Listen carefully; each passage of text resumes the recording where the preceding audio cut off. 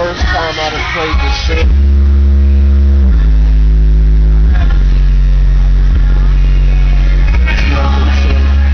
Plus they're real stiff, so I hope after a while, you know, kind of for today, but maybe next month, you know.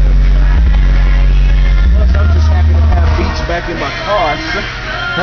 so after this, you know, it's still fine. I had a fun time driving up here. So too to